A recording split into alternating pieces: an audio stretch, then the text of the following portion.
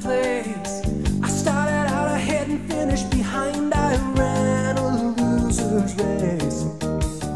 I didn't need someone to tell me the answers. I was convinced that I knew it all. I was a fool who just couldn't see the prize.